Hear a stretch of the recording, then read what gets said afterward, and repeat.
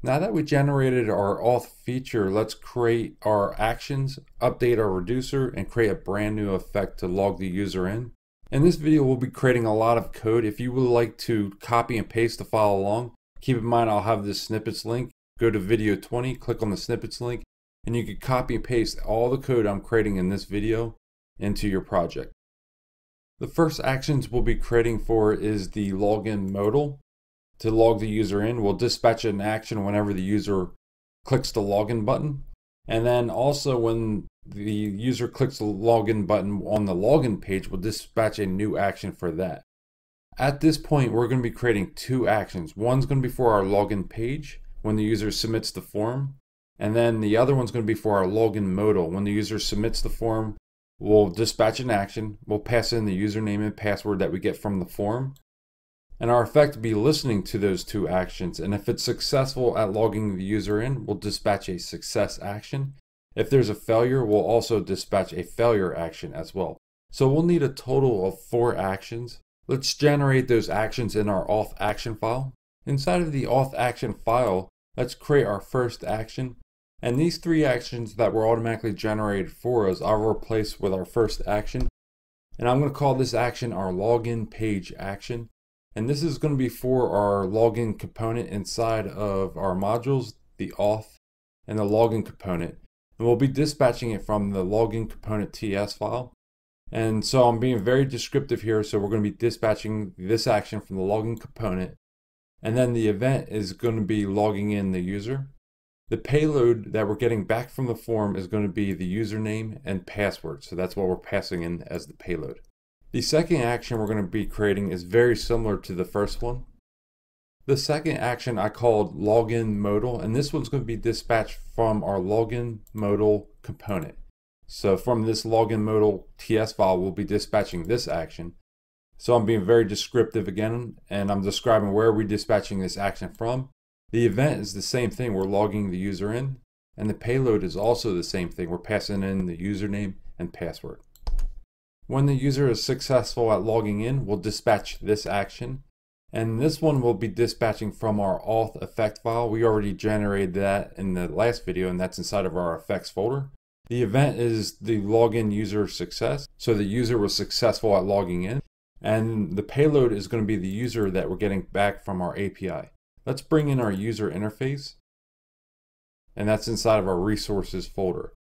And if I click on that, and hit the F12 button. This is what our user object looks like. It has four properties, ID, username, email, and a is admin. And that's our user object. I'll close this down. And now we need one more action to handle our failures. If the user fails at logging in, we'll dispatch this action. And this one's going to be dispatched from the auth effect file as well. The event is there was a failure at the for the user logging in. And the payload is going to be a type of any. And I called the, the property name error. And that's the only actions we're going to need for now. We will be creating more in the future, but let's make sure we save this file. Now we're ready to set up our reducer. Now we're ready to update our reducer with two properties, the user object and also the error. If the success action is dispatched when the user logs in, we'll update our state with the user. And then if the failure action is dispatched, we'll update the state of our store with the error. Inside of our reducers folder, open up the auth reducer. And we'll start inside of our state and we'll add two properties. The first one be the user, and we'll use the same interface we used on the action file, the user interface. And that is this one right here. So those should match up. And then we'll also add in our error, and this is going to be a type of any. And now we just set up our state and now we're going to get an error for our initial state because they're not matching up. So let's set everything to null. I'll set user to null. The ID, I'll set the null. Username, and that will be null. Email, you guessed it, is going to be null as well. And then there's another one called is admin, and I'll make sure I set that to null as well. Also, let's do the error. I'll add that towards the end here. And that's going to be the same thing, null. So we just nulled everything out. That's going to be our initial state. Now we're ready to create our on methods. And we're only going to need two, and I'm going to replace this block right here. And then save it so it formats it nicely for me. And the two actions we're listening for is the login success. So if the user is successful at logging in, we'll return a new state with the updated user. And we'll make sure we set the error to null. We're not really setting anything, like we're not actually setting the user to the user. What we're doing is we're returning a new state, a new copy. That's what we're doing here. And then if there's a failure, we return a new state with the user set to null and then the error that we got back from our backend. Now that we created our reducer, let's create our effect. The new effect that we're going to be creating is going to be listening to two actions, the login page action and also the login modal action. If any of those actions get dispatched, our effect will kick in. It will try to log the user in, it will deal with our service, and if it's successful, it'll dispatch an action for that, passing the user. If there's a failure, it will also dispatch an action for that as well, updating our store. Inside of our auth effect file, the first thing we'll need to do before we create the effect is bring in the service, and I'll add that within our constructor, add that towards the end. And this is our auth service, and I'll bring that in from our resources. And if we take a peek at that, I'll click on it and hit F12. And the method that we're going to be calling from within our effect is this login method. And this is a totally fake login. It doesn't actually log the user in. All we do is we pass in the username, password, and we don't even check to see if the passwords match up with anything. All I do here is I check to see if the username exists. If it does, I return that user. And if it doesn't, I throw an error and I return a string. Uh, this isn't really validating the user in any way. That's the reason you're able to enter in any password in the form and log in no matter what. And that's our service. And now we're ready to create our effect. And I'm going to replace this block of code right here with a new block of code. And then I'll give it some space here. And I called our new effect the login effect. We're using the create effect method. And then here we're listening to two actions. Both of these actions are pa passing in the exact same payload. And here is how we're going to get access to the payload. So inside of this action, there should be a username and a password that's being passed in from our form. And that's what we're passing into our login method we were just checking out inside the service. And right here, we're passing in the username and password. This gives us back an observable with a user in it or a string. And then here, if we're successful at logging in, we'll pass back the success action with the payload of the user inside of it. And then if there's an error, we return the failure with the payload of the error. And that is our effect. If we save this, and now we're ready to start dispatching our actions.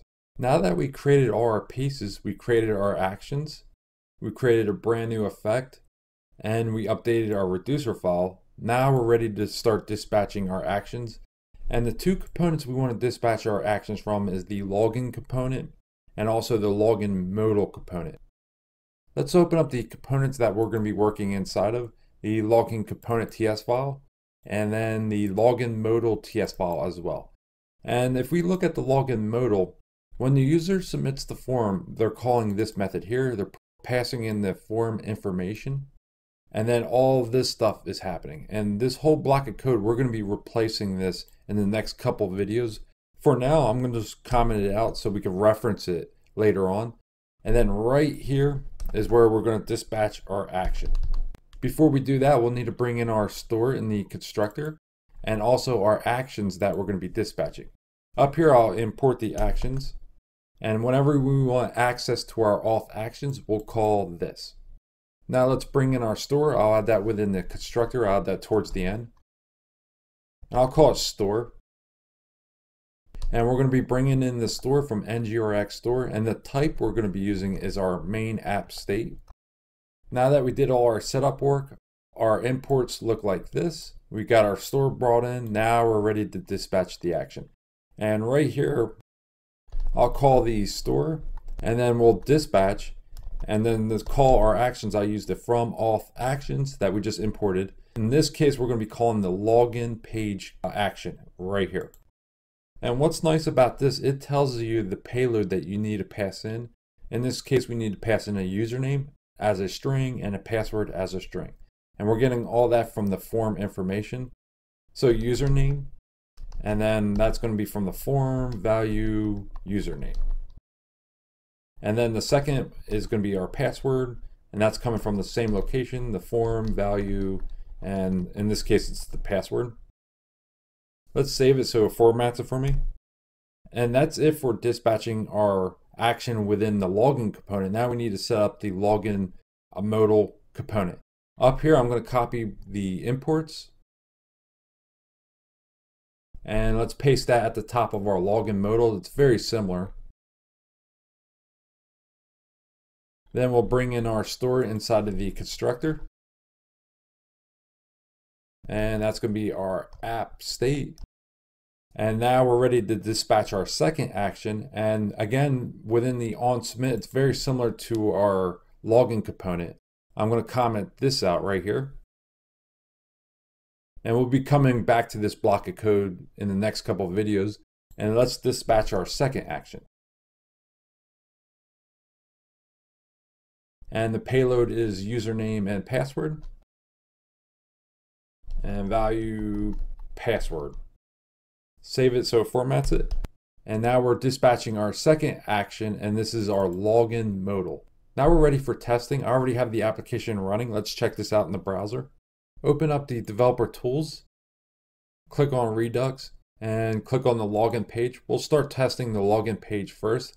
In the input, you can enter in user or admin and you'll get back a success. I'll enter in user and you can put in any password that you that you want, it doesn't matter, and click login.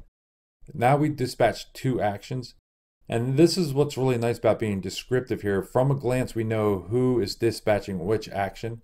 In this case, the login component is dispatching this action. We're logging the user in.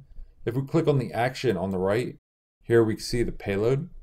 And then we click on our current state. We shouldn't see any changes here. Our current state uh, inside of our auth feature, everything should be set to null. The reason is, is we set inside the reducer our initial state to null. If we look at the difference from the last state to the current state, there was nothing. Now, if we click on the success action that was dispatched from our auth effect, and look at the actions, the payload was the user that was passed in from the back end. We look at the state and look at our auth feature, we should have a user in there now, and we do. And the error is still null. If we look at the difference from the last state to the current state, we have a user. That's the difference.